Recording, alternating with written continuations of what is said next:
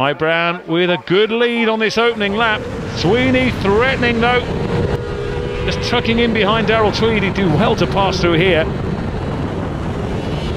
Coming down to the Orritor Crossroads. Again, Tweed in command. And all the while, while they're battling away for second place, Mike Browne is pulling away out in the sunshine. Adam McLean, he'll be furious with himself after that terrible start. But here he comes. He might just try and draft Michael Sweeney pull out of his slipstream, get the double slipstream as Sweeney goes past Tweed, and we could just see McLean go to the right hand side of Tweed as well. Will he appear? No, on the left hand side. Remarkable from Adam McLean. Oh, Mike Browne, too hot, too hot, too hot, too hot. He was far too quick coming into Gorton. And McLean now, with the momentum, with the great corner speed out of Gorton, should be on the race leader in a matter of seconds. Well, what an opening lap, or an opening lap and a bit, I should say. Browne from McLean.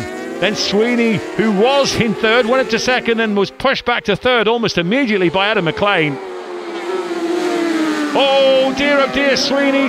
The back wheel just, I think, went out onto the green stuff. He just lost a little bit of traction and he's lost a little bit of momentum as well. Mike Browne back up to speed after his misdemeanor at the first turn. It's all a bit frantic, it's all a bit hectic.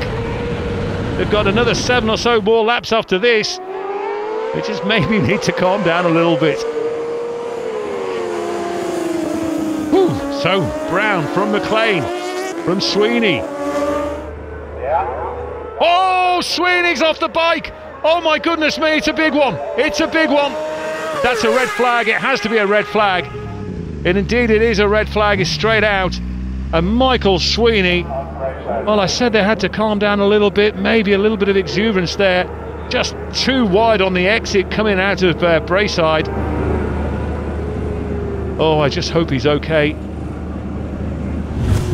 Well, we can see from Michael Sweeney as he's in pursuit out from through the crossroads. Oh, I think the wheel, the front just did the front just tuck then? Perhaps or maybe the back went and the front then followed. Here we go again. Oh, he's in trouble. He was in trouble as he came around the corner, all crossed up. Oh dear, oh dear. Poor Michael Sweeney was going so well. So, a huge crash for Michael Sweeney.